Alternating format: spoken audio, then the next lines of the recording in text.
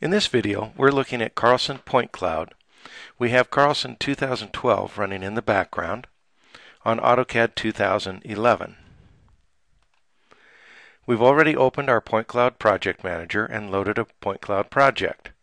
As you can see, we have a point cloud that's already been imported. If we right click, we can look at the properties and see we have just under 9,000 point or 9 million points in our project. We've also created a scene that we can view by double clicking it or right clicking and selecting view. In our scene, we can rotate and look and see that we have a parking lot in a shopping center, several different buildings here.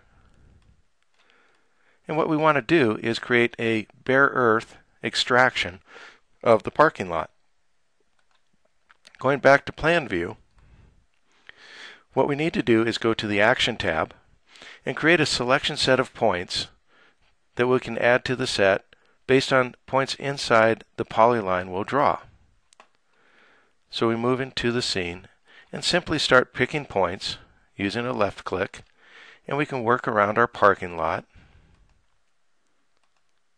just selecting points and when we're done we right click. The points we selected are highlighted. We can end the selection mode and now we'll create a new cloud of those points. This will be called Cloud 2. You can rename those if you choose to. Cloud 2 has now been created. We'll use that for our extraction so we can close this first scene, go back to our Project tab.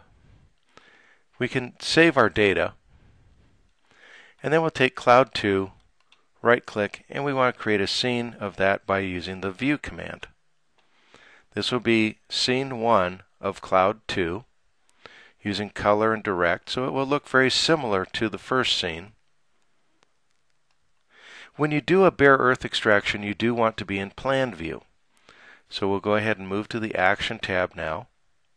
Scroll down to our Extract Bare Earth. We'll break this up into 36 slices as we go around the circle, so each is about 10 degrees.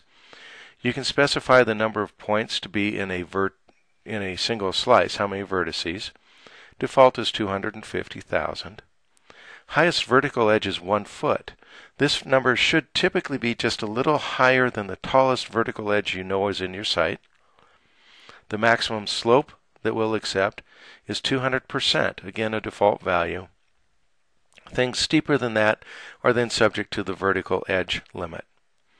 Each search window is 10 units, so from a given point it will look 10 units away for additional points to see if they fall within the parameters for highest vertical edge or slope.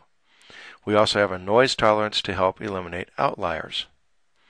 To start this extraction, we move our cursor into the scene, hold down the control key, and simply click where we want the center of our bare earth extraction to be.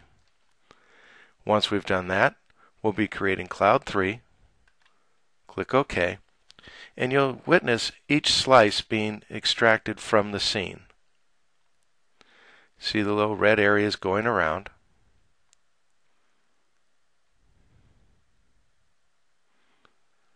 Once that's all extracted, it builds the cloud, and we're done. So we can close this scene, go back to our Project tab, Always a good idea to save your work after creating new cloud scenes, contours, or any other data. We'll take Cloud 3, which is our bare earth extraction, view it to create a scene again. And so this is our bare earth.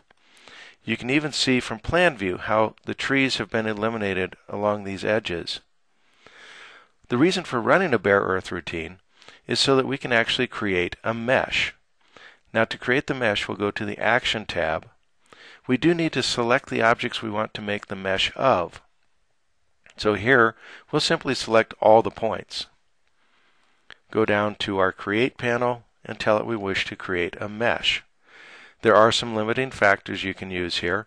Maximum length for a triangle is 250,000 or 250 feet, period, not a comma minimum incident angle is 130 degrees.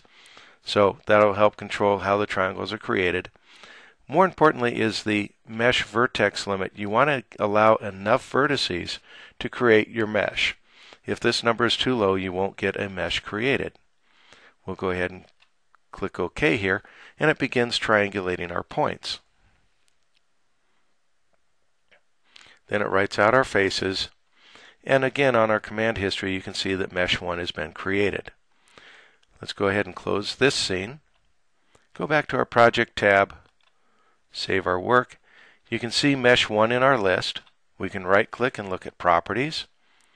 We have 500,000 faces, 760,000 edges, 253,000 vertices.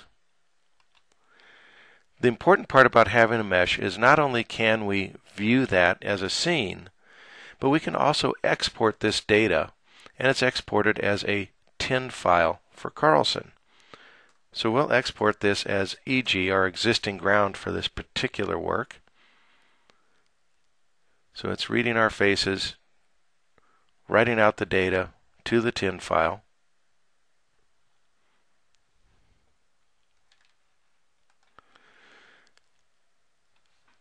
And once it's done, we can go into our AutoCAD version, switch over to, for instance, our civil product, and use the commands in the surface menu to draw the boundary of that surface. We'll create a 2D polyline of this existing ground surface